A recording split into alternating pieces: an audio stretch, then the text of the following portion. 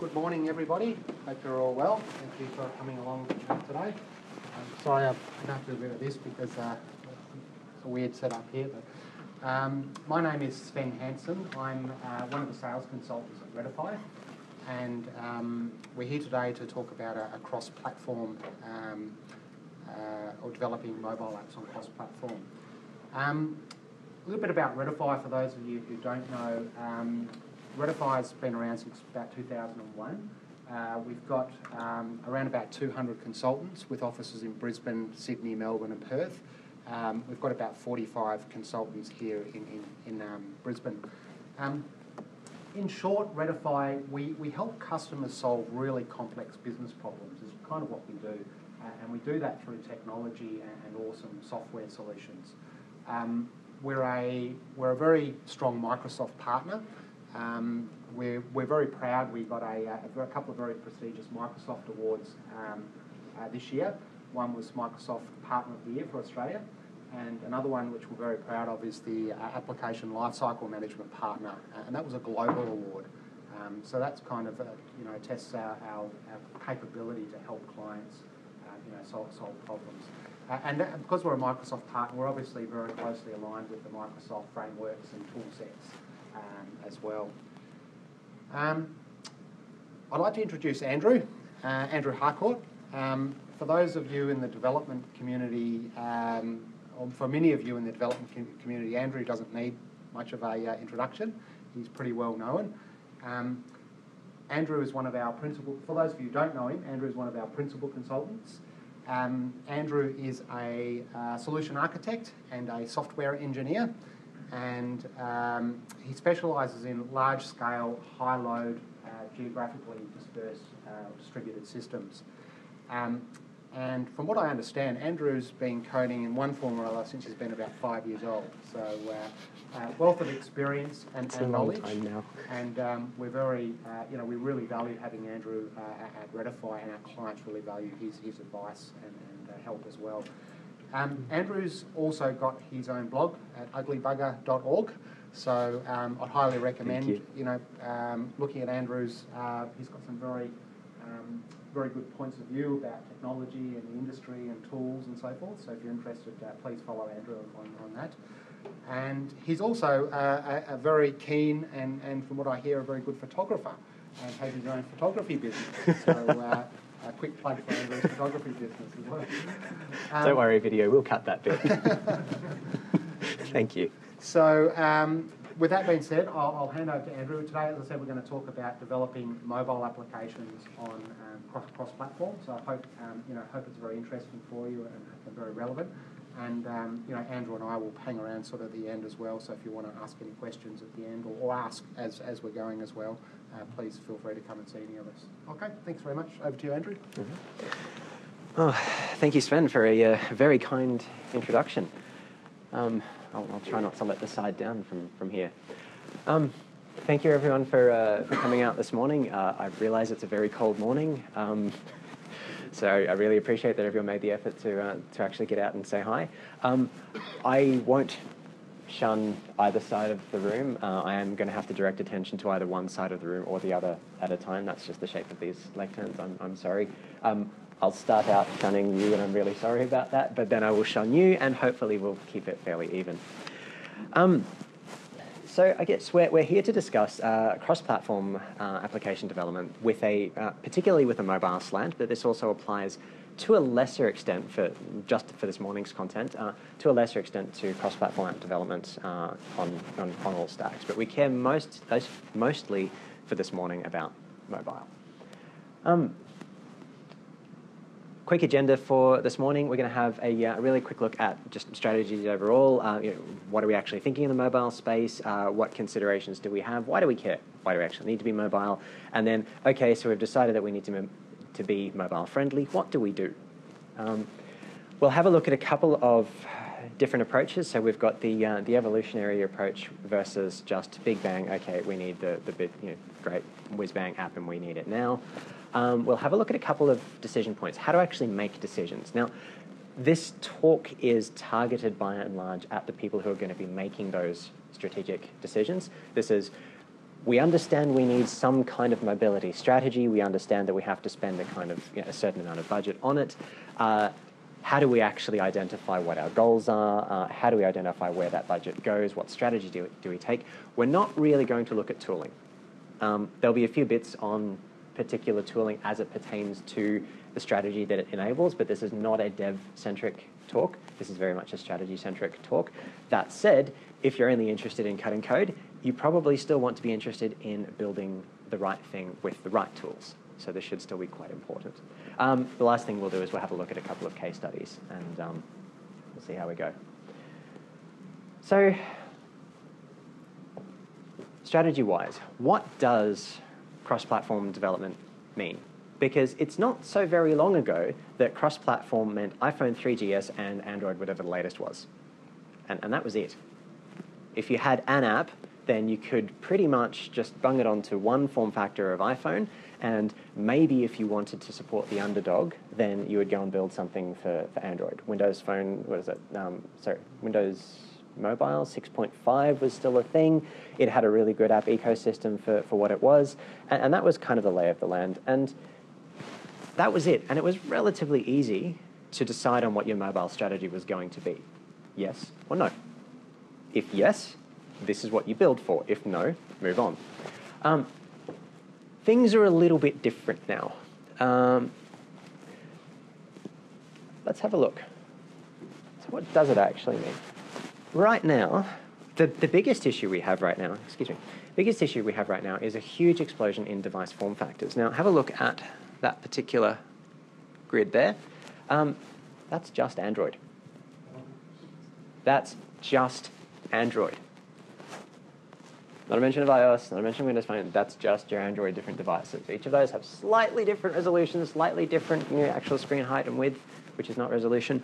Um, we have so many different devices that we have to support. Um, likewise, if we're looking at just within iOS, okay, well that's fairly easy. We still probably have to support 3GS, probably. We still have to support 4, which brings us Retina, uh, and then 4S. Thankfully, we got away fairly you know, fairly freely with that because it was the same form factor. iPhone 5, a little bit longer. iPhone 6, a little bit bigger. Oh, hang on a minute, 6 Plus, now that's another form factor. And then we have iPad. We have all sorts of flavors of iPad. We have the Mini. We have this, you know, all those sorts of... Oh, and then we have portrait and landscape. And you'd think that that wouldn't make a huge difference, but it's actually just doubled your workload. Um, this is important. So we have a huge explosion in the form factors we have to care about. Um, likewise, touch. Touch is a thing.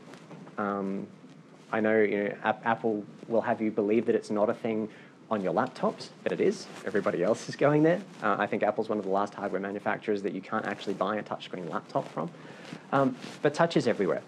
Um, quick show of hands. Who has a child? Okay, and keep the hand of shame up. Who has a child with an iPad? Has your child touched your laptop screen and wondered why it doesn't work? Television. They touch the TV and it's broken. Right? And who's, who, has anybody not seen the, the little video of the little girl trying to use a paper magazine and just poking at it and poking at it. and then she tests her finger on her leg to see if her finger is. now, that's the expectation.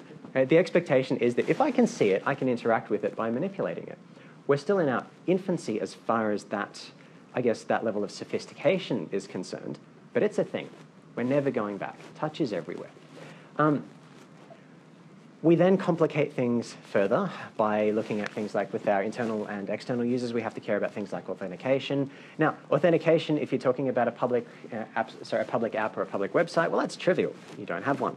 Um, you know, this is my company's publicly facing website, and I want as many people as possible to, to go and see that website, so why would I put it behind a, a password? Um, then at the other end of the spectrum, you have credit card payment processors, you have medical records, you have all sorts of things.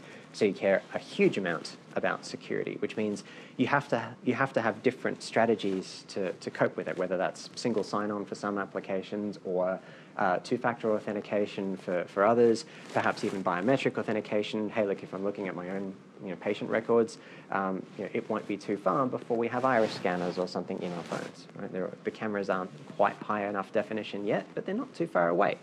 So then you might be saying, well, okay, I can't actually log into my personal medical records app or my you know, health app or whatever until I actually hold the phone up to my eyeball and the phone actually identifies my iris from my medical records and that's how it shows that it's me. Now, this stuff is coming.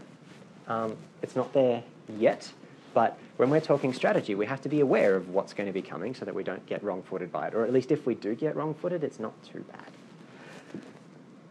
The elephants in the room are SOE and BYOD. Um, and the variation in, in people's expressions when they say those two acronyms is great because your employees, when they say SOE, say it like that. Whereas your sysadmins and your CTOs and CIOs say SOE and are happy.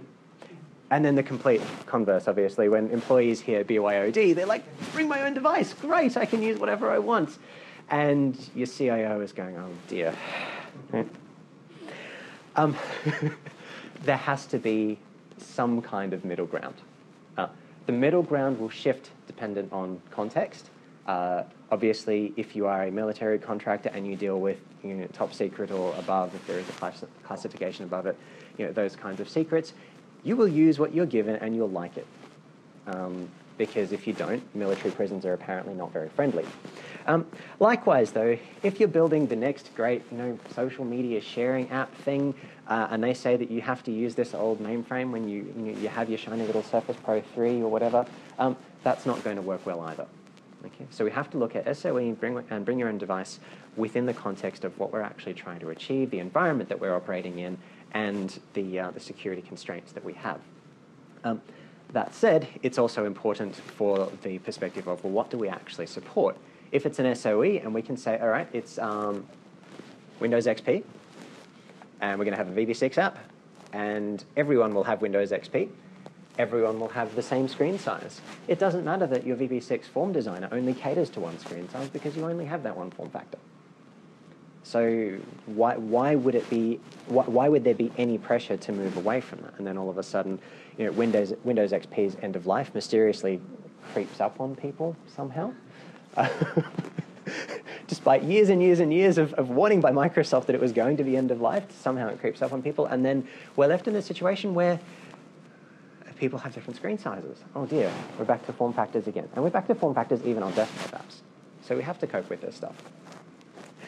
Specific to mobile apps, though, the two real, I guess, um, key considerations we have to we have to look at are richness versus reach, and of course the third one in the you know, obligatory iron triangle is cost. Okay, so what are we actually talking about when we look at because rich versus reach is it's it's a trade that you're going to have to make a lot. It's going to have to be, I guess, front of mind, top or sorry, top of mind when you're making your strategic decisions because there are huge cost implications whichever way you go. So, richness.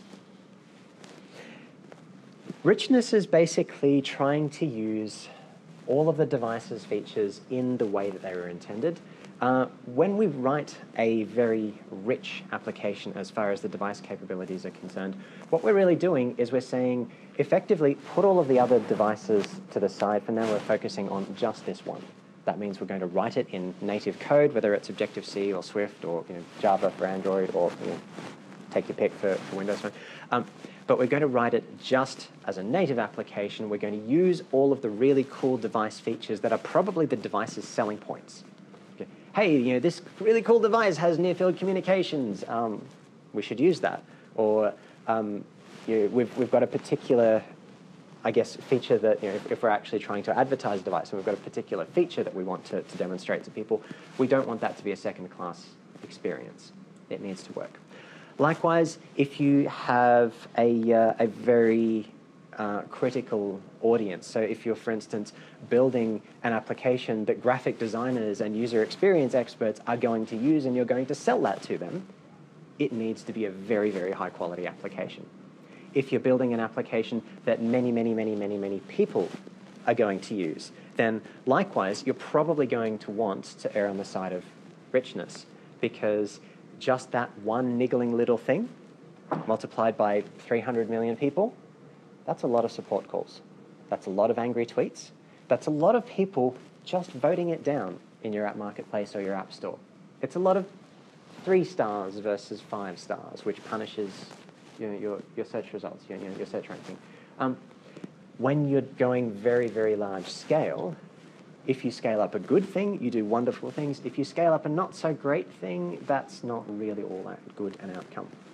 Um, so things like you know, in-app purchases, for instance, you're not going to be able to make a, a, an Apple you know, App Store purchase from a non-Apple device. That just doesn't work, but you're still going to want people to do it. Likewise, things like um, cloud providers. So um, the, the whole you know, Microsoft uh, OneDrive sync is actually really quite nice now. Um, doesn't play all that nicely with iCloud, doesn't play all that nicely with Google. Apple and Google don't play nicely with each other. How many lawsuits have they lobbed at each other recently? Um, so when you care about all of those platform-specific things, you really care about richness. You care about really, really tight integration, mm-hmm, and it needs to be seamless. If you're shooting for a rich experience, it must be rich, seamless, beautiful. That's what you're shooting for there. By contrast, reach is I want to get this app in front of as many people as I can without doing too much unnecessary work. Mm -hmm. um, the obvious example of that is a website. You can just write a website and everybody on the internet can, can see it. People with you know, wind-up phones in the middle of the Sahara can see it, and that's wonderful. Um, just be aware that you're making that trade. You have to make that decision. And I'm not going to advise you this morning on whether you should go for one or the other. Um, that's dependent on, on context you have to give thought to, well, what problem are we actually solving here? Okay? What's our target market? What are they going to do with this product? How is it going to help them? Um, that's going to give us our position on the, on the continuum.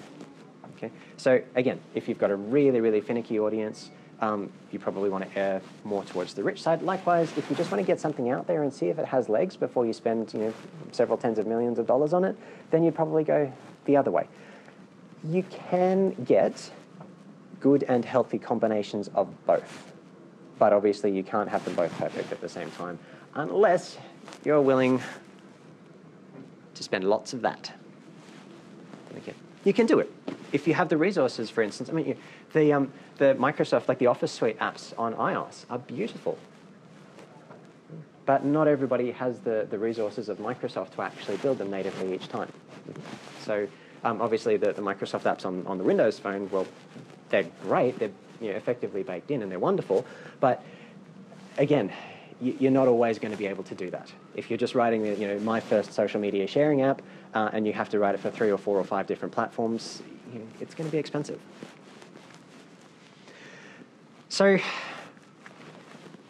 the next consideration that, that we have is what kind of approach are we going to take? And it's very much um, it's evolutionary versus planned. Now, planned kind of gives the, the connotations of big design up front. Um, and yes, there are elements of that, so be really, really careful. But you also need to have an understanding more from a strategic perspective of where are you going to invest? Mm-hmm. Are you going to invest? Is mobile a core component of your business? Is it now? Will it be? Is it a core component of one of your competitors' businesses and are they going to steal the march on you? Okay. So when we're looking at these kinds of decision points, what we really care about is how much do we actually know about the, the mobile landscape and our place in it over the next couple of years? Right? Answer, if anybody's saying, if anybody other than Microsoft, Apple, and Google are saying we know lots, probably rethink that. The mobile landscape is changing very, very fast. Uh, most of this content, for what it's worth, um, I would expect to be obsolete within two years, three at the outside. Um, that's it. We're, still we're still spending as an industry huge amounts on mobile development. Um, know, mobile ad revenue is, you know, if it hasn't already eclipsed desktop, certainly the growth has, uh, as far as you know um, revenue from mobile advertisements versus revenue from desktop advertisements. Desktop's pretty much flat, plateaued. Mobile's still growing at insane rates. Um, mobile first is a thing. Um, most social media consumption for quite some time now has been on mobile devices. We, we, we know this. Um, we, we have the stats. Uh, but where are we going to be in two years? Nobody really knows. Nobody's really all that confident, and that's largely because the industry heavyweights are all still really fighting it out. There's a huge battle for market share going on. Um, people are taking this one very, very seriously, which is wonderful because it means the pace of innovation is great, but also that this content will be obsolete very soon. so when we're making our decision, and again, this is a decision that you have to make based on your own context, um, are we just going to dip our toes in the water and see? Do we just need an app because, well, if you don't have an app, who are you? Or are we actually just going to jump in, boots and all, and say, okay, mobile is now a core component of our business? Now, the evolutionary approach is, well, let's just dip our toes in and see how we go. And that means that we can afford to make a very small investment. But if we make a very small investment, we're not going to get the beautiful apps. So it could be a bit of a catch-22 situation in that we could have actually made a huge splash if we'd spent you know, $500,000 on building an app, but we weren't sure that we should, so we only spent $50,000 on building an app, and now we've actually learned the wrong lesson because we you know, tried to, to find the wrong data. Um, one of the other things you need to take into account when you're looking at just purely budget is what's already feasible within my organization. So what skill sets do my teams already have? Hmm? Um, if I've already got, for instance, a whole bunch of really, really good JavaScript developers, for instance, so they're, you know, like they're in you know, Angular or React or Flux or you know, buzzword of choice, I don't really mind. Um, but if they're really, really great, then perhaps we can build a hybrid application for very little money and without going outside to hire any more expertise. We can maintain it in-house, we can bug fix it in-house, we can ship it really fast, and it's a very, very cheap experiment. Wonderful. Um, will that solve your problem? Don't know, but that's a question you have to ask yourselves. If we just do that, are we actually going to get enough data to make any meaningful decisions? If you look at, for instance, when um, Twitter built, what was it, Periscope? Hmm? Right, they're not going to get away with building a, you know, a crappy little first cut implementation of that and then releasing it. Like what, was the first, the app that prompted that? Meerkat. The demoed it, I can't remember which, um, uh, which event that, that started at, but it was one of the, the major um, festivals in the States.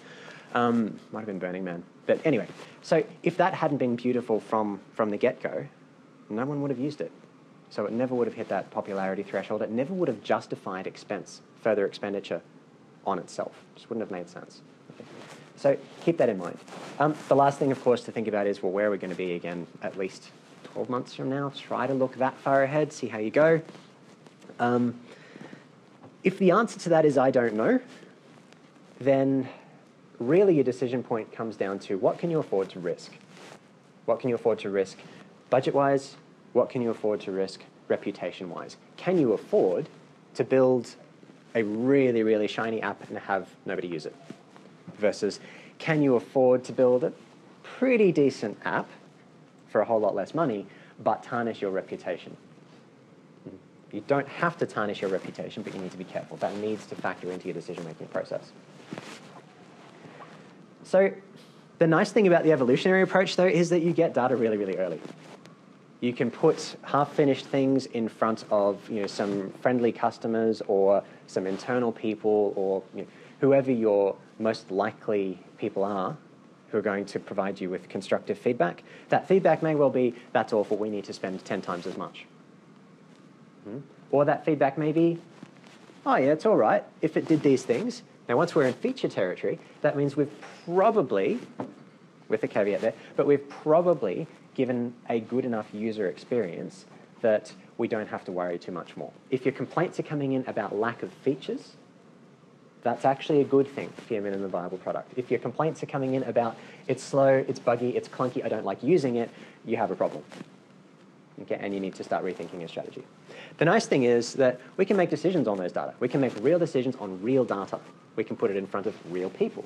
We can get their subjective feedback from hopefully constructive tweets to us, or from App Store reviews or anything like that. Um, but we can also get quantitative feedback from just within application metrics.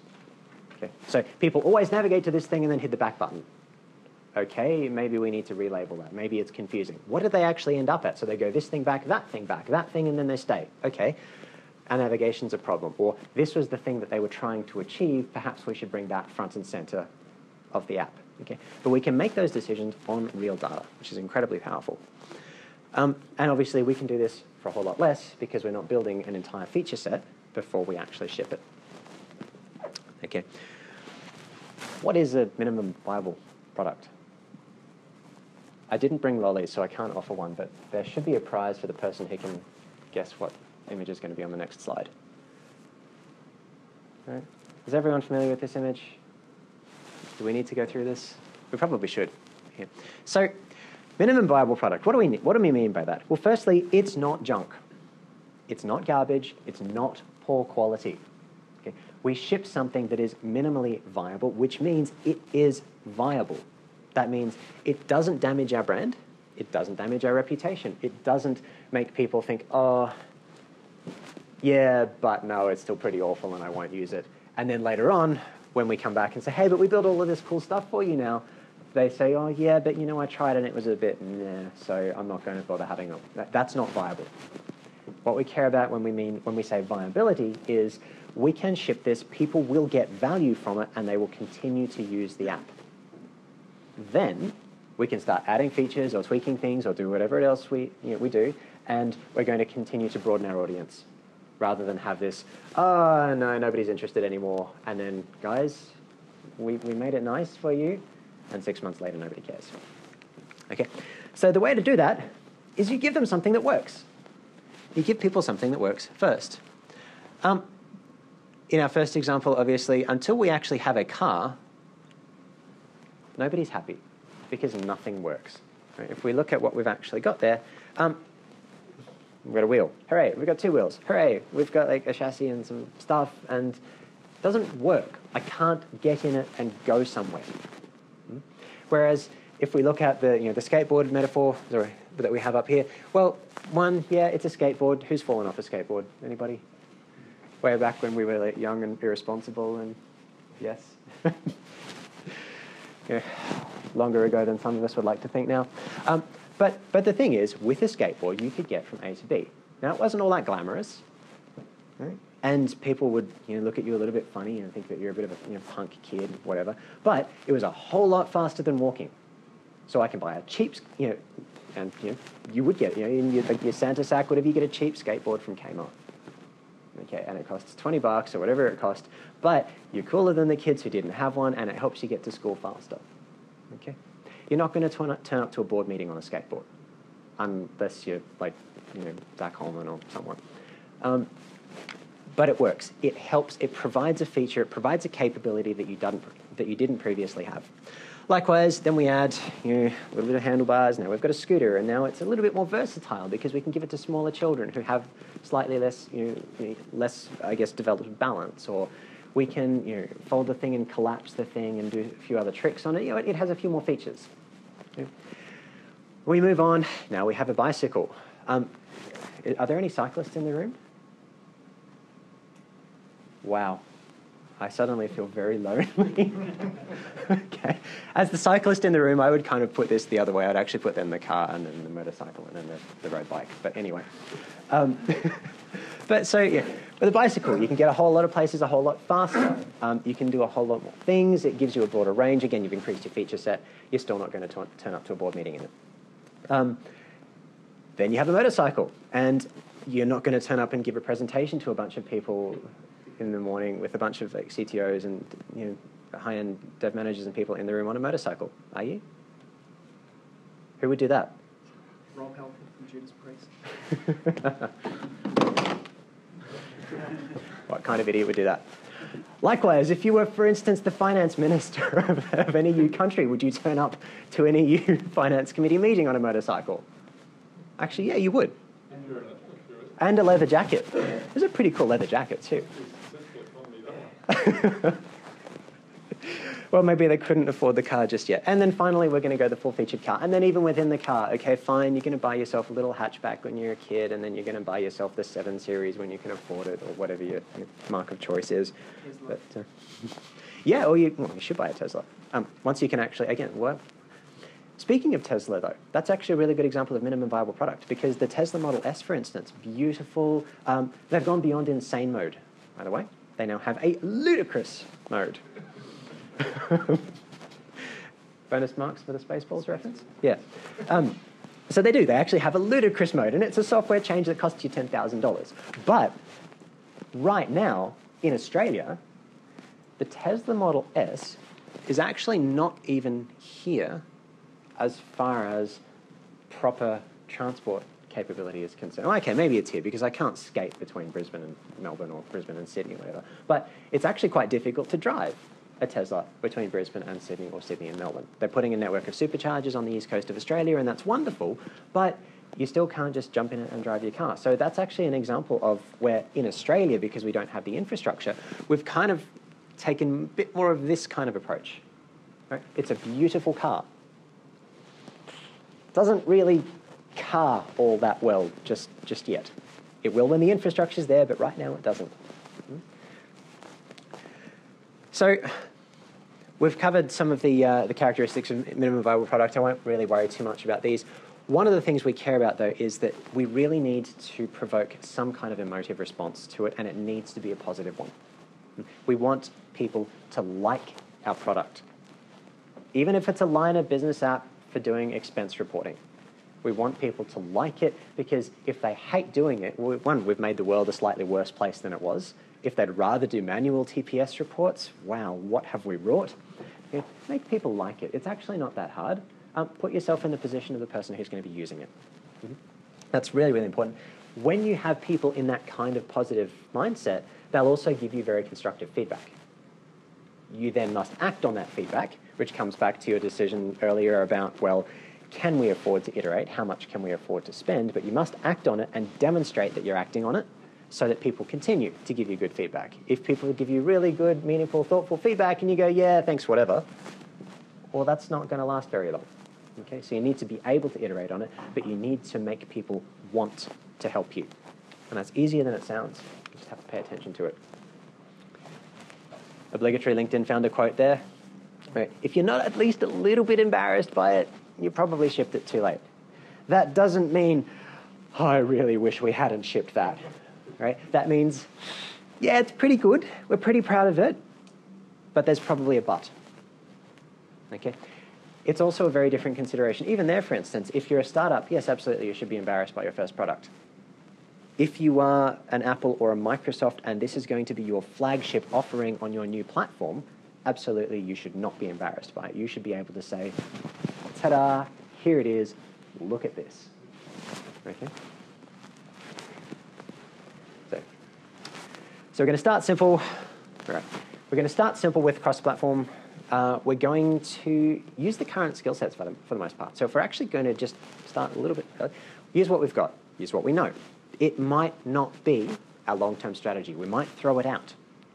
That's okay you need to make the decision about whether it is okay, but that is a perfectly valid decision. You can't just say, well, we, we, we built it, therefore it has value. No, we built it. It created value for us in some way. That value may have just been, we learnt a whole lot. And now we put it to a side and we build what we actually meant to build, but we build it with all of our learnings incorporated. That's great.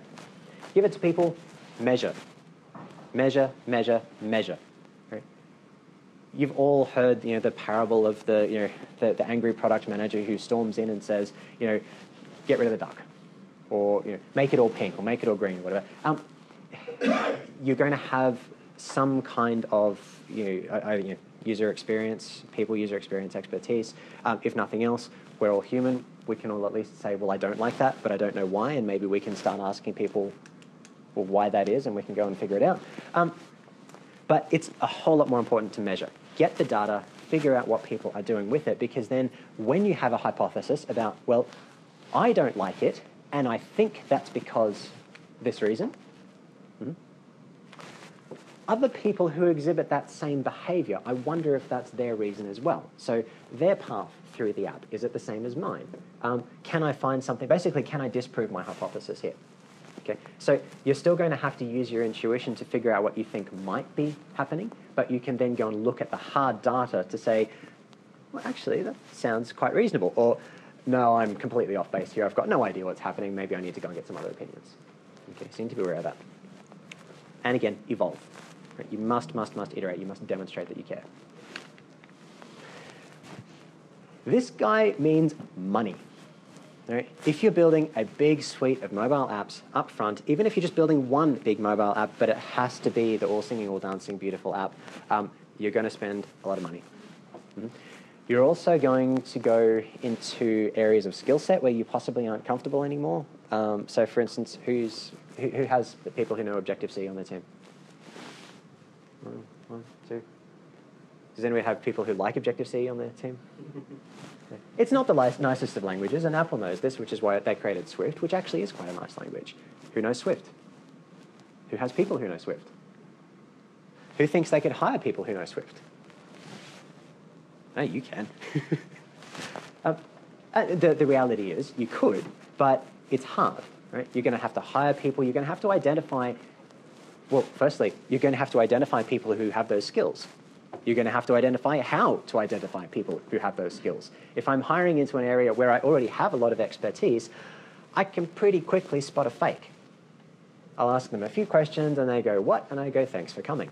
Right? But if I'm hiring into an area that's completely foreign to me, then I'm not going to know what questions to ask. And someone doesn't have to be deliberately misleading. They may genuinely think that they're wonderful. And they could be a really nice person. And I'm recruiting someone, let's say I'm recruiting a software development manager to build this entirely new team. And I say, you need to be able to do this, this, and this. You need to be able to assess people on that, that, that. And they say, yeah, sure, I can do that. No worries. And they believe it. Um, well, great, no one set out to do a bad thing here, but all of a sudden we have an inappropriate hire who's then going to go and hire other inappropriate people, and now we've created a bit of a problem for ourselves because they're going to release something that's, well, your best case scenario is you'll find out after you've sunk cash but not reputation. Your worst case scenario is you're going to commit publicly to a release date, because remember, we're doing this up front, which means we're going to coordinate it with things like a big bang marketing campaign. So we're going to set ourselves up for not really having much room for error. And that means that the team is going to be given a deadline and a feature set and be told, make it happen. And the team will, because again, they mean well, they're well intentioned people, and that's great, but the product's going to be a massive letdown, and you're going to suffer reputational damage or a huge amount of cash. Okay. Now, not every app, sorry, not every uh, mobile initiative goes like that. If you have the expertise already, or if you can find someone who does, and then you can build a team to, to actually do that, you, you are laughing. Great, good for you. Um, likewise, if people have got a really good track record, if this, isn't, if this isn't your first rodeo and you know this person because they've already built a bunch of apps and they have a really good portfolio, and you can trust them to put a really good team or set of teams together, that's wonderful too. Who in this room right now, though, thinks that they could hire people? Let's say, for instance, Microsoft just you know, released not so long ago um, all of the Office suite for, for iOS. Who in this room thinks that they could hire a program manager to put together a team of people or a team of teams of people to do that? Who actually thinks, not that I know where to find those people, but I know how to identify them. Because I'm getting one confident hand and everyone else is like, oh, actually, that's quite hard when you think about it, isn't it? Um, the flip side, of course, is you can have a beautiful result. And that gets you market share, and then that's you know, snowballing success. Wonderful. So we need to think back to our decision points. When we're going, okay, what's my mobile strategy going to be? Um, what are the key things that we care about? First and foremost, what problem am I solving? What problem am I solving and for whom? What is my target audience? What are they going to care about? Because that's part of the problem that I need to solve. Okay? If that's not your first and foremost consideration, it really, really should be. You need to take a step back and actually ask yourself, well, okay, why are we actually doing this? What, what, why are we solving a problem that we haven't even identified? If your problem, there, there, there is a corollary to, corollary to this, which is if your problem is we need an app because we need an app because everyone has an app and you're nobody if you don't have an app, well, maybe that's actually a valid problem to solve. Um, maybe you know, we need an app just because we then have something installed on lots of people's devices and we can send them push notifications and we don't really know what it's going to do yet. So let's think of a thing that would be kind of useful. just to actually get present on people's devices. That may be a valid business goal, but you need to understand that that's the problem you're solving. Hmm? If, just, if your CTO or CIO or CEO just you know, storms in and says, we need an app, build me an app, well, perhaps that's the problem that you're solving. You know, make the CEO stop shouting. But come on, who's solved that problem before? Who's wanted to solve that problem before? Okay, that may be a valid problem, but it's still probably worth asking the question, well, why do you want an app? Because why are you shouting? Because there must be another problem here. Business goals. I cannot stress that enough. Next consideration, again, your richness versus how far you want to reach your target market. Um, you want, one of the things that we haven't really covered, we'll, we'll look at in a minute, is um, performance. Actually, actually, no, we'll postpone performance. That's right. We'll come back to it. So the richness of the UI we really, really do care about. Device integration, again, you'd have to think about, well, am I going to use device features? Is it just going to be a photo sharing app? Okay, great, I can do that in whatever platform and technology and language I want. Or is it a particular device capability that's a new shiny, like NFC payments or whatever, although that's not all that new. But once upon a time, it was new, and people, you know, the first movers on it did well. Um, likewise, who are we targeting? Are we targeting a closed group of employees, and I can give them a choice between a Surface Pro 3 or an iPad? Or are we saying it's going to be an SOE and you will all get Blackberries? Or, yeah, I saw at least one cringe there, although they're doing okay now. Um, better. Or are we basically just going to say, look, um, run what you've run and we'll sort it out, we'll support that. Okay, so you have to think about those things. And again, all of those are valid positions for your organization to take, depending on your own circumstances, but you need to include those in your decision-making process. Likewise, you care about your team skill set, what can we do with people in-house versus what do we have to go and hire people for. The last one that we haven't really touched on is performance. Performance is, what, you, you get a lot of people saying the app must perform really well, but they don't actually understand what that means. Does that mean the UI is really snappy? Does that mean that it just doesn't crash? Does it mean that it feels native for whatever definition of, of native? Does it mean, for instance, that we're actually going to do a huge amount of number crunching on the device and so we need to be writing in something like C++ where we can, or you know, Objective-C, well, you know, we, we need to be writing native Java, or can we do the whole thing in JavaScript? Okay.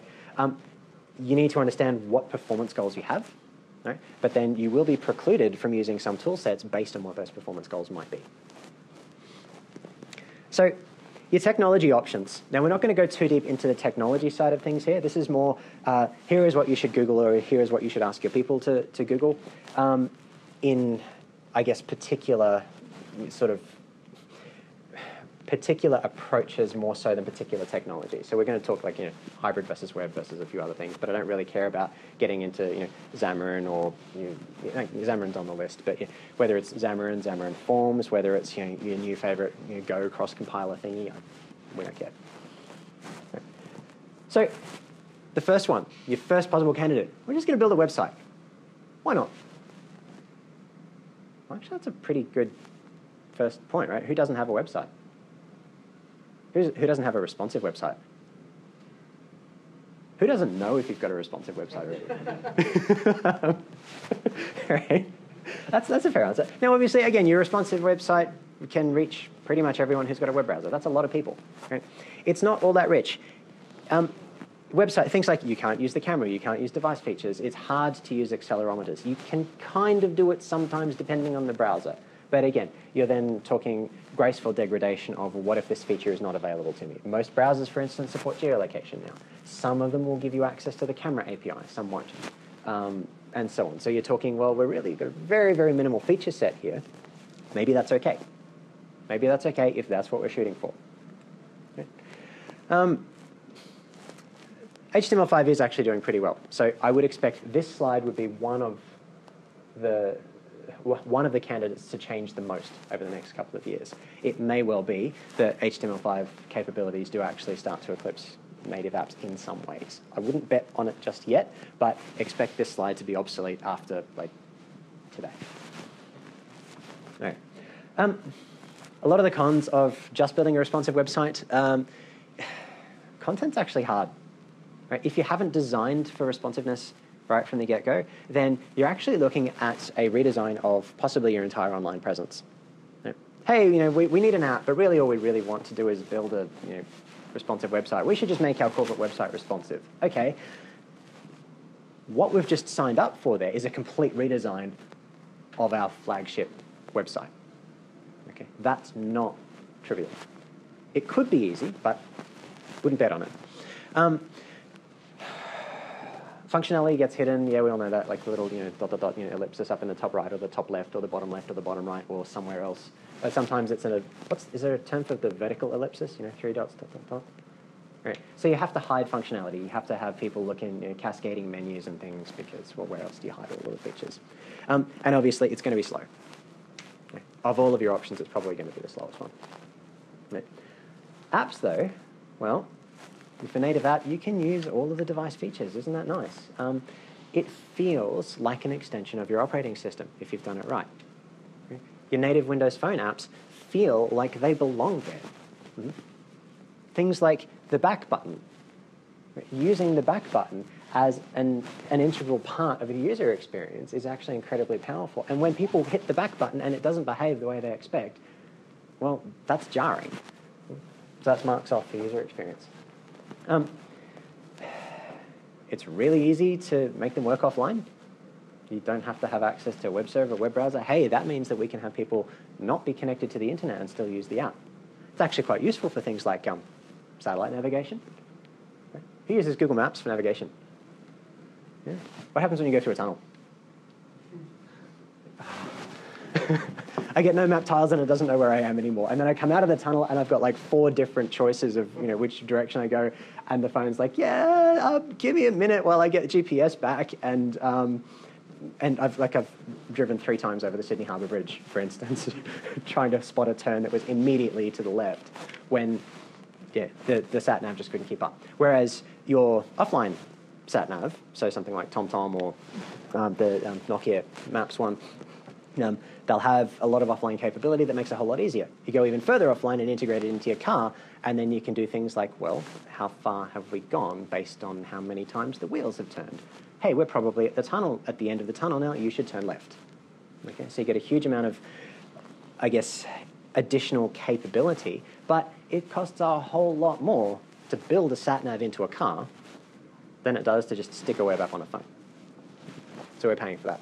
Um, one of the cool things that you get out of a native app is your App Store discovery. Right? People find apps through the App Store, and that means they get recommended features and you know, hey, today's editorial picks and all that sort of stuff. If your app doesn't exist, if you don't have one, well, you're not going to get that. So, um, we won't spend too much time on this. We've covered most of these points. The one thing that I would call out as far as the cons of apps are concerned is a long tail of updates. Hmm? Yes, there are App Store commissions. If you're making lots of money and lots of sales on your app, well, that's great. Uh, you know, I, you know, so I'm, I'm, selling tens of thousands. Was Flappy Bird the, the app like you know, selling forty thousand US dollars worth of app per day? You know, how much do you care that Apple's going to take a small cut of that? Like really? Um, you might, but probably not. The, the big problems, though, that you need to be aware of, uh, because it's an app, people can choose not to update it. Mm -hmm. um, Microsoft, in, uh, in Windows 10, you get your Windows updates. End of discussion. Thank you. Wonderful. There's a critical security patch, and the whole world has it. Oh, that's nice. But your mobile apps aren't like that. You know, you can turn on auto update, but a lot of people will leave it switched off, and a lot of people actually are suspicious of updates because oh, you know, they might take this feature away from me, or you know, I like it just the way it is, or whatever. So that means that not only do you have old apps out in the field, but you then have to have those apps continue to work, which means things like your API surface in-house needs to you know, needs to remain consistent. So if it's just a crappy old app and you ship it and it doesn't talk to anything, that's fine. But what app on a mobile device doesn't talk to something? So then whatever it talks to needs to exist for as long as that app's going to exist. If you have an old deprecated version of the API, but you still have 30% of your customer base on the old app because they like it, then you have to support your old API as well as your new one and your new one and your new one for all of your other versions, okay? which introduces a whole lot of additional maintenance overhead. So contrast that with a web app where you can just say, well, it's a web app, everyone's got the new version, which means the APIs have been updated and they get maintained and the job is done. So there are trade-offs there. Um, we've touched on authentication, we've touched on backend, we've touched on UI design, but I will just call out, you're going to need to design either once for everything or once for every platform. There's kind of no real way around that. You can do a little bit of, oh, maybe this is my flagship platform, so you know, I'll do a, you know, a, a, a super special whiz bang experience for that. And the other ones can just be meh. And so the other ones can just use, you know, generic looking controls and navigation, all that sort of stuff. But this one, this is where I'm going to spend all of my effort. But even then, if you've started down that path, you can spend a lot of effort on your flagship platform, but you're probably still using a lot of the underlying technology that's kind of spread across, across all of them. So you're never going to get the beautiful native experience by doing it that way. You can get close, but not quite. Native apps, obviously, beautifully rich, not all that much reach. Not all that much reach. If you are okay with the level of exposure you can get from a single app store, go for your life. Just include that in your decision-making process. Skip, skip, skip. Hybrid web apps are actually pretty cool. Um, largely because, again, we can, we can use a lot of our existing skill sets, and there are a lot of shims now. There are a lot of shims that actually give us access to the device's native capabilities in a way that's actually pretty easy to program against. And where those shims don't exist, by and large, you can write them. So you might have to write a shim for, let's say you've got a you know, iris scanning feature on a particular phone or whatever it is. Um, and uh, you know, that's not supported in JavaScript. You can write yourself a Cordova plugin that does that, and you write that in native code for that platform. Now you have to write that plugin n times over for as many platforms as you have, but then you can code on top of that and just you know, write once, run anywhere. Um, there are lots and lots and lots of ways. This is effectively becoming the front runner for line of business apps and for a lot of social apps. Okay, so you're writing it in HTML and JavaScript, and again, you can use React, you can use Flux, you can use Angular, V1 or V2, you can use all of the shiny JavaScript buzzwords, and that's really cool. You can use Gulp and Grunt and these and that.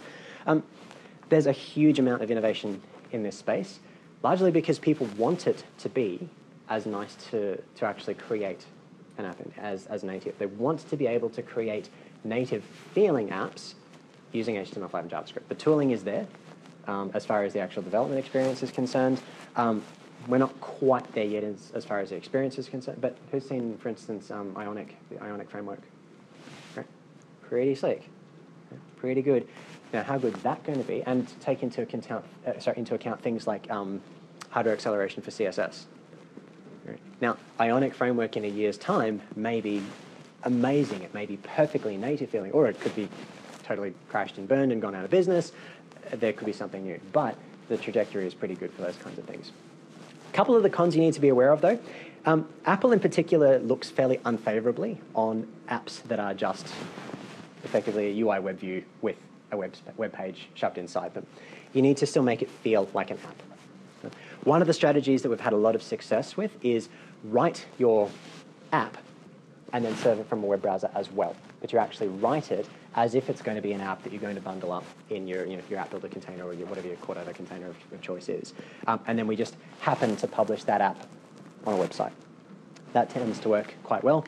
Um, but yeah, you do have to just keep an eye on are you going to get approval through you know, various app stores? And by and large, that's becoming a less of an issue, but it's still not zero risk. So if you take this kind of approach, ship it early. Try to do a soft launch, try to actually get it into the store, and then do an update, because updates are a lot less pain than actually getting an app approved initially. Um, you do have to care about rendering differences in some of the browsers. Um, Obviously, across all of iOS, you still get the Safari you know, WebKit rendering engine. Um, on Android, yes, you get WebKit again, but it is slightly different. Google's forked it. Whoops. Okay.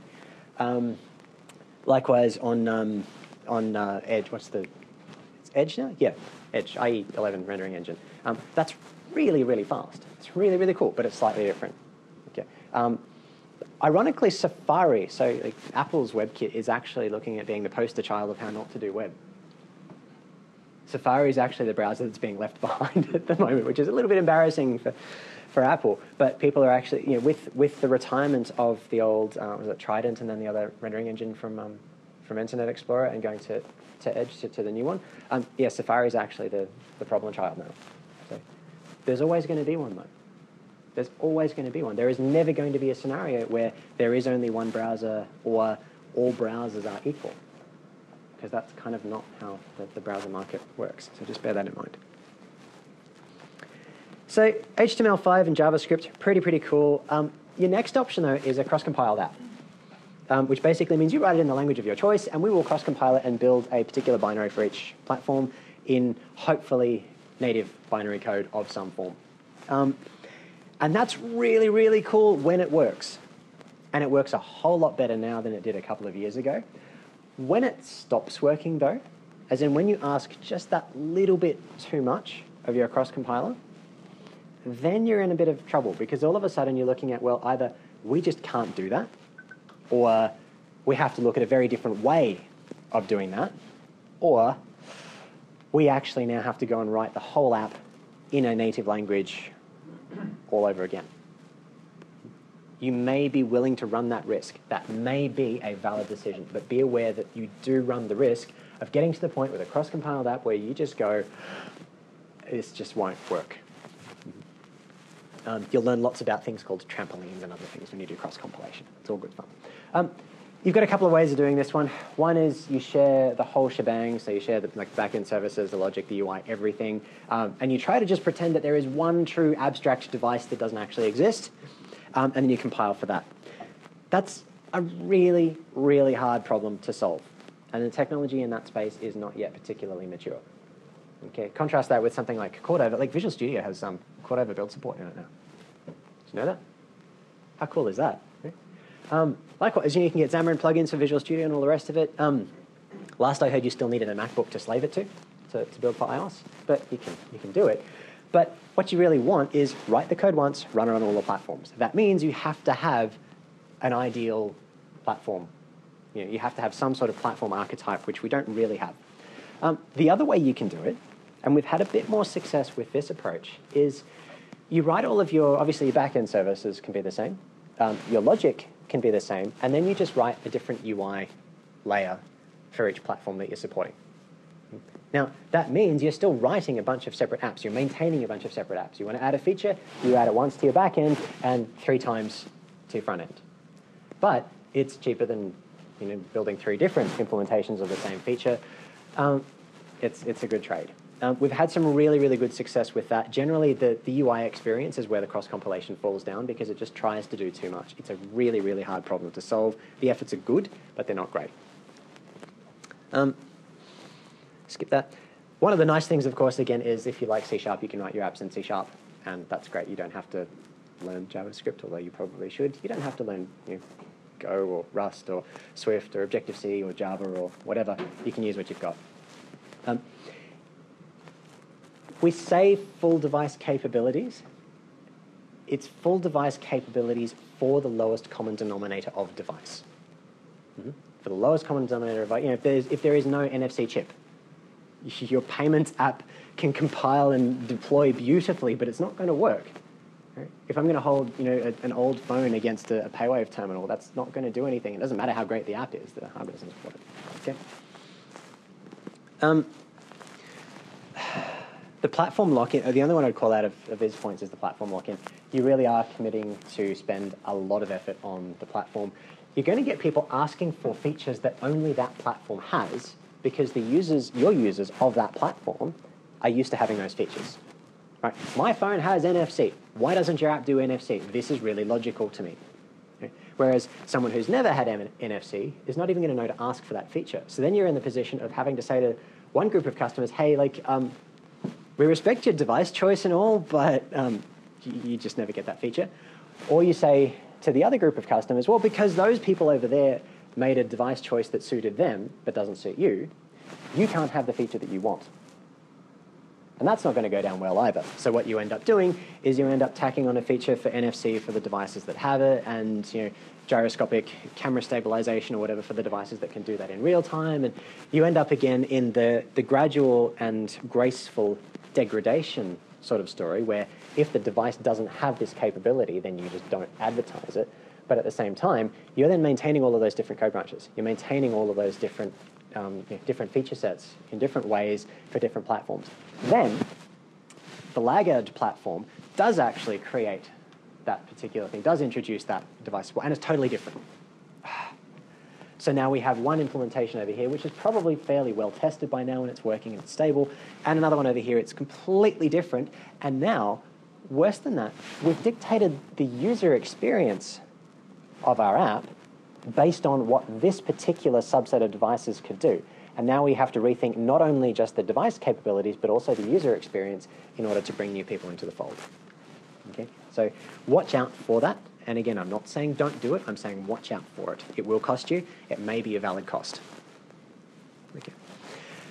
So um, these slides will be up on, I think, SlideShare before too long, so don't worry too much about this one. But basically, here is your grid of you know, decision-making aids.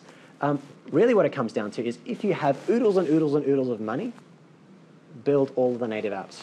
Go for your life. It really doesn't matter. If you can afford to just burn that much cash, or you have a particular brand obligation to do that, do it. It costs what it costs, but it will be worth it to you. Mm-hmm. If you don't have oodles and oodles and oodles of money, or you're not a Microsoft or an Apple or a Google, then really you should be looking at, well, okay, what problem am I solving? What are the constraints that I'm having to solve that in? What's the minimum I can get away with? Is the minimum that I can get away with really minimum? Or is it, you know what, it's so close to just build the whole shebang anyway that we may as well just commit to it. We may as well just sink the cash into it and go. A couple of case studies. Um, don't know if anybody's familiar with this one. Um, so Blue Sky Fund, so Blue Sky Alternative Investments, I think it's proprietary limited, uh, which is the parent company. Um, it's also Readify's parent company. Um, this is one of the projects that we ran well, quite a while ago now, and it's a responsive website that we've also turned into an app. So this is just a responsive website. This is actually a screenshot from desktop in a browser.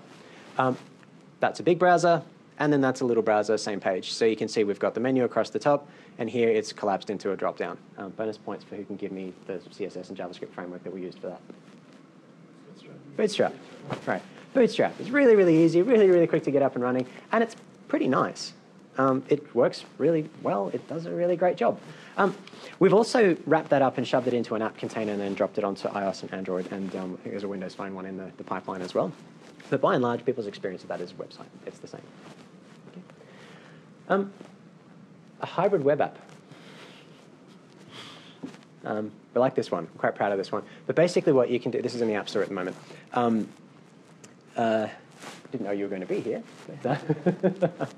but we really are. This, we're actually proud of this app for a, a number of reasons. Um, basically, one of the considerations you have to look at it you know, as cost is what are we actually achieving? In this case, what are we achieving how much worth do you place on saving one baby's life? Now, again, this comes back to our business goals, if you would call that a business goal, but that's a pretty valuable thing to achieve, I would kind of think. Um, people who worked on this absolutely love doing it because it's an important thing to do. That aside, it's a hybrid web app. Works really quite nicely. It's HTML, JavaScript. I think this one's Angular. Doesn't really matter. Right? But it's wrapped up into an app container using Cordova, and it gets published to the app stores. Um, it was a relatively cheap app to build, but you still get a nice high quality experience out of it. There's kind of no value in making this one a, a native app. We would reduce our reach. Okay? Reach in this case is really important. Now, we're still selling it through, well, know, promoting it, it's free, but it gets promoted through the app stores. But the most important thing in this particular circumstance is we want as many people who we can actually get into each of the studies to be involved. So if we were to say to people, okay, so you know, you have to be, you have to meet these medical criteria. Oh, and by the way, you have to have an iPhone 6 Plus. Well, why? Right? So we care a lot about reach in this kind of circumstance. If you have a phone, this will work, okay? and that's great. This one. So this one's a Xamarin and Xamarin Forms app. Um, the reason that the, uh, the choice was made to go Xamarin for this particular app is, uh, and this, this one's, uh, we built it in Australia and they've su subsequently decided it's going global. Um, they, they really, really like it. Um, there are a couple of UI components in this application that were incredibly difficult to do in JavaScript, either with SVG or Canvas or whatever. They're basically like an animated spinning wheel and a whole bunch of other stuff, and it's really nice and interactive, and you could do it using a hybrid web app model, but it's going to be slow and clunky. And in this particular case, one of the priorities was it needs to be nice. People need to want to use it. It's our people. If the very first thing to you say, that you say is, is like how to engage our people, how to keep our people coming back and engaged with what we're doing, and you know, um, and then you say to them, yeah, well that's kind of important, but we don't actually value you enough to give you a nice user experience. That's the wrong impression to give people. Yeah, we totally value and we built you an app and it's pretty awful and yeah, but, but we do value you. Okay, so in this case, richness was so much more important because they wanted to give their people a nice experience. They wanted to keep them coming back. That was really, really important. And we couldn't give them a clunky experience first up and then say, oh, but this will get better. Okay, we had to make it really nice right from the beginning um, and then go from there. So that's your sort of your, your other end of the, the scale as far as richness. Now, the, the last um, case I'll show you is not a Readify application. I'll say that just so it doesn't look like we're appropriating other people's work. But this is amazing. Um, this is Instagram's hyperlapse. Um, has anybody used it? Anyone seen it? Okay. It does uh, a combination of uh, time lapse. So you've seen um, the Microsoft hyperlapse video like demos out of Microsoft Research. Right, the whole not just time lapse, but actually smoothing the video and cropping out the irrelevant bits and all those sorts of things. Right, it's absolutely amazing. Um, so Instagram has an, an app that does pretty much that. It uses the well, one, it uses obviously the camera to capture imagery. It uses the camera also for image stabilization. It also uses the phone's gyroscope for image stabilization. It's actually doing IS in real time as the image actually comes in, not stitching the, um, you know, you, you basically, you, your um, digital image stabilization, you, know, you do crop around the edges and then you move the crop and you do like pixel by pixel identification of, you know. well, they're not doing that. That's their second pass. Their first pass is just how did the phone actually, you know, wriggle or jiggle or whatever when the person was holding it to take this video and how do I compensate for that? Now that's doing it in real time. It's doing it in real time on the device. You want really, really, really high performance code there, which means you're probably going to write it in C++ with an Objective-C shim over the top of it, and your core image processing is as close to the hardware as you can get. If you've got hardware, hardware accelerated instruction sets, you will use those. Mm -hmm. uh, in the same way as the uh, Microsoft uh, PhotoSynth app that came out a couple of years ago. Again, really, really cool. It's doing lots and lots of heavy lifting on the device itself. It's doing some very severe math on the device itself because, um, so this one's cool because it does image stabilization. The, um, the, uh, the photosynth one, has anyone used it? You really should get it, it's very, very cool. Um, it uses your phone's gyroscope plus compass. And what you can do is you can just click, click, click, click, click, click, click, click, click, and it will take into account the phone's orientation and it will actually build you a scrollable, almost navigable image of, uh, as in a 360 degree by 360 degree map of around yourself. And it does that all on the device. If you're holding your device, when you actually hit the save and you know, make this rendered button, you'll feel it get pretty warm. your phone will get hot. Right? It's burning a lot of battery, it's spinning a lot of CPU. You don't want to write that in JavaScript. Okay, so you want that to be native. How cheap was that to build, though? Who wants to build that as their very first app ever and sink, you know, several hundred thousand to several million dollars on it, just on a maybe? Yeah? And with that, thank you, everyone. So I'll throw the floor open to, to questions, and then I'll call Sven up to say a quick thanks and goodbye. But firstly, questions from anyone? Yes. Would please. you target Windows Phone? I would because I like Windows Phone. Um, the the device quality that it's really frustrating that Microsoft was such a late mover in this market because the devices are astounding. Even the cheapy, crappy ones that you get from like Big W for 50 bucks or whatever, they're really nice. The form factor is nice. The build quality is good. It's a nice user experience. And if they'd been second mover um, as opposed to, to Android, wow, um, their market share would have been huge. So um, I would. With the cross-platform tools, it's approaching free the incremental cost to target Windows Phone is actually really pretty low. So I would do that even if your primary targets were iOS, for instance, iOS, Android, I'd do it for Windows Phone just because, well, why not? Um, and then you'll you'll actually get to the point where you look at Windows Phone, it's actually pretty nice. If we could make this the first class citizen, then the others would actually have a few bits of catching up to do. So I would. If I were to target the three, though, then all other things being equal for a line of business app, it's going to be a hybrid HTML you know, app container using Cordova. So it's pretty free. But does that answer the question? Cool. Oh, well, yes. What experience have you had with outsourcing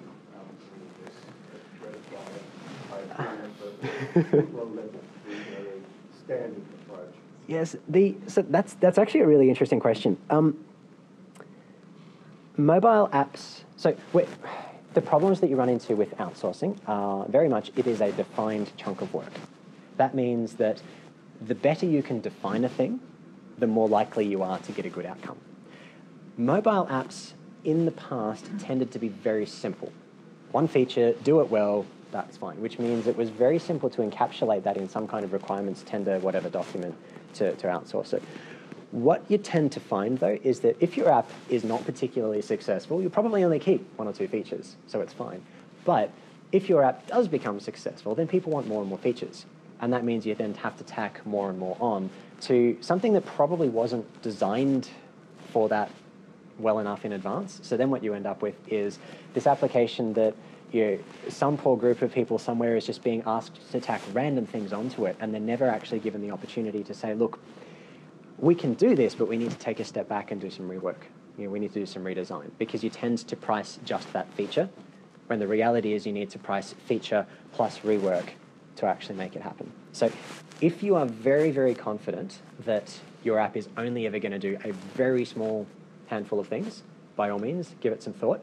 Um, treat that as a as an investment that you're prepared to lose, though, uh, because if you don't get what you were after, then you're going to have to go back and pretty much do the entire lot again. You know, tweaks in here, here or there, but by and large, if you take one look at the thing and go, "This is horrible," well, you can either not pay and everybody can sue each other, or you're effectively paying over it over again. So, with your more complex line of business apps, I would look rather than um, outsourcing. I, I, would look at off the shelf if you can, um, because off the shelf you can already download the thing from an app marketplace or whatever, and you can play with it and see what it, if it does what you want. But if you're actually going to have proper line of business, then what you're really doing there is you're putting your custom logic into a lot of these apps, and that's going to grow and evolve over time. Which means much more than outsourcing for a, for a fixed price or a, you know, a, a limited risk sort of scenario, what you really care about is your long-term maintainability, which means you want to be able to do this in-house because you want the people who are doing the work to be able to, one, gain and keep an understanding of your business rules, and two, have open lines of communications to the people who need to clarify them. So line of business, do it in-house or do it with a partner who will then leave you self-sufficient uh, but probably, you know, if you look at outsourcing, do it for very, very simple things. Treat it as a, you know, as a possible, just disposable you know, investment that, that doesn't actually return anything. Does, does that answer the question? Yes, it does. Thank you. Great, thank you. One, and then two, and then I think we're... Um, um, excuse my ignorance here, but um, the hybrid mm -hmm. approach, can you elaborate a little bit more about how sort of works and what sort of technology, I, I, I can. Um, what I'll probably, I'll give a, a 30 second overview here and then hit me up afterwards if you have a few minutes and I'll go through a little bit more technical detail. But uh, at the high level, basically, you're writing a, an HTML and JavaScript application um, and you want to put that, think of it as a zip file. So basically, you zip it up and bung it into a package somewhere. Separate to that, what you do is you write a native app for each device, and that native app is basically an iframe. So on iOS, it's a UI web view that just points Safari, so it points WebKit at your zipped bundle of HTML and JavaScript. Likewise for Android, likewise for, for Windows Phone. Um, there's a tool suite that does, well, there's, I guess, the, the, the, the, key component that does that is called Apache Cordova, which is an open source, um, it's PhoneGap basically.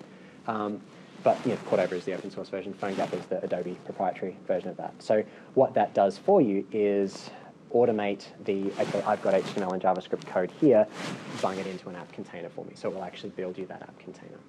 So that's basic. When we're talking about hybrid applications, that's kind of how they work. Obviously, you then have to work out how to expose device functionality and all those sorts of things underneath. So hit me up afterwards for, for how to do that. But, um, but yeah, in, in a nutshell, that's effectively what you're doing. It's a website in an iframe in an app. Does that make sense? Yes, it does, yeah. Okay. Cool. And last one? Yeah, um, in terms of apps, apps edition, obviously, like the store, one of the considerations you've got to plan for in terms of releasing software. Yes. Do you see that as becoming more, I guess, stronger or, or less prevalent amongst the various platforms?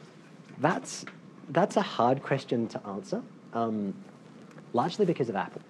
Microsoft has generally been very consistent about it, and it's not been hard to get your apps. You know, basically, if you violate these guidelines, then no, uh, and we'll automate that. And we, like Microsoft, will give you the compliance tool. Like, Microsoft will say to you, "Hey, look, um, see this tool here? You should run it on your app because what we're going to do is run that tool on your app, and it will tell you what the answer is going to be." Um, Google had a pretty much free-for-all approach. They're now starting to pull that back a little bit. Apple was always the capricious child of App Store approval. You know, no, you can't have cross-compiled. Oh, actually, yes, you may, uh, but, right? Or no web apps that just wrap a, or sorry, you know, UI web views that just wrap this out. Now they're in, now they're a maybe. Um, and Apple's also one of the more difficult ones just to predict in terms of time. So um, you, you need to, to budget for that in your project time. So I think at the moment, average App Store approval for Apple is about nine days for a new app and then about two for an update. Um, the others, pretty much you're always waiting for Apple. So yeah, bear that in mind. That said, there are lots and lots and lots of hybrid apps in the App Store. Apple doesn't have an issue with hybrid apps. Um, that just, yeah, they may change their mind at any point. they have an issue with deployed code though, like code that's deployed as part of app startup? for example? They, they have issues with, you know, you're not allowed to JIT on a device, um, and you're not allowed to, basically, you, you have to add something. It can't just be a website. So you have to add something. There has to be some kind of, you know, appiness about it. The problem there is that how do you define that? Um, and that's where it gets very, very blurry. So yeah, does that at least help answer the question? Yeah. Okay, well, look, Thank you all. Andrew and I are going to sort of hang around for another, you know, 10, 15 minutes, so feel free to come and chat to us and coffee outside. Um, just before everyone goes, we will be emailing you a feedback form. Um, so if you kindly fill that out for us, um, you know, we want to improve these events and, and make them as relevant as possible to you. So uh, uh, take a minute, and I'll leave some of my cards uh, just on the desk outside. So uh, if you want to sort of contact me later and, and got any questions or if that's to ratify, please um, please take the card and give us a call. So, yeah, A really quick question. Sure. Is there a link to the slideshow that you have? that will come out as part of your The email. The email, yes. Okay. Yeah. It will be on um, SlideShare at some point fairly Yeah. soon, so there'll be a link to that. and You page through it, a PDF. Okay, thanks very much. Thanks, everyone.